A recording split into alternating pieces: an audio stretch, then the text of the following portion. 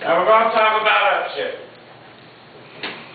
Can anybody tell me what the first step to any upshift is?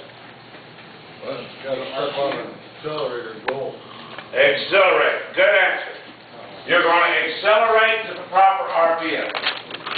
ACCEL, abbreviation for accelerate. Now, how do I know what the proper RPM is?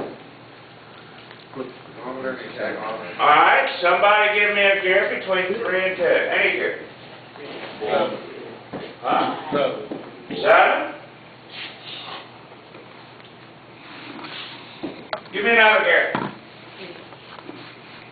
Any gear. Six?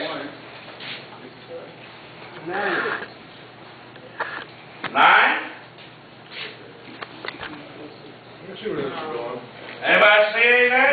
Mm-hmm. Do you notice the pattern? Mm-hmm. All you need to do to find out how many RPMs that you need to get that gear is you take six and add it to the gear you're going to. You're going to six gear, six plus six, you must be in fifth gear, twelve hundred RPMs. Everybody understand that? It is very important that you do not give the truck too much fuel. Did you notice how speeds overlap in each gear? If you give it too much fuel, your road speed will be too high, and it will not go in the next gear. Plus, if you overrev the engine on your road test, it will cost you one point every time you do it for over acceleration. All your lower gears are for is to get you moving. I don't care if you have that truck at 3,000 RPMs. If you're in fifth, uh, third gear, you're still going to be doing five mile an. It won't go any faster. Everybody hear that? So, you're going to accelerate to the proper RPMs. What's the second step? Clutch. Clutch it out of gear. Clutch it in gear, then you clutch it in gear.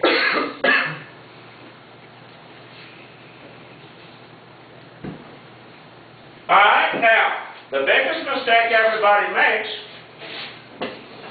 is when they double clutch, is they hold their foot on the clutch.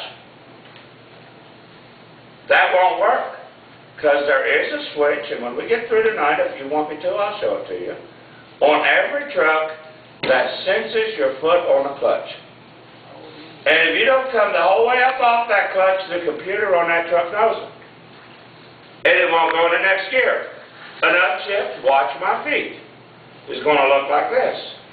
Accelerate, clutch it out, clutch it in. Accelerate, clutch it out, clutch it in. Everybody put your chairs in and stand up.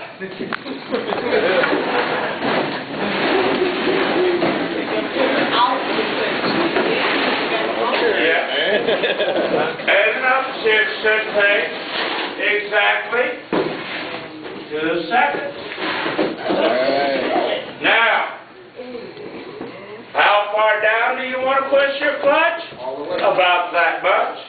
If you push your clutch all the way down, you are getting into your clutch brake, which is stopping your transmission. Can you upshift if you're slowing down your transmission? Nope. No. If you push your clutch pedal past your brake pedal, you know they said like this, you're clutching too far. And it's going to be going like this. And you think your road instructors and the people in the back's going to be happy if they're going like this about four days? Ain't going to happen. Now let's do an upshift. Right foot accelerate, back, left foot clutch, clutch. Right foot, clutch, clutch. Left, right foot, left foot. Accelerate with the right, tap, tap. Come on, Jameson. You weren't lying when you said All right, were dancing. accelerate. Tap, tap. Let's speed it up. Accelerate. Tap, tap. There we go. Accelerate. Tap, tap. Damn, you did all three of them with one foot. Now, like me, son. Right foot. Accelerate. tap, tap.